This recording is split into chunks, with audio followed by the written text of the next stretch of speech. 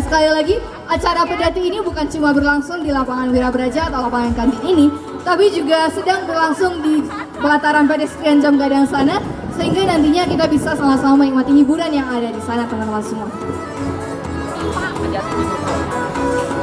Yang dari tadi haus atau lapar gitu boleh ya mampir-mampir ke stand-stand yang ada. Yang jualan makanan di sini ada banyak eh, jajanan juga.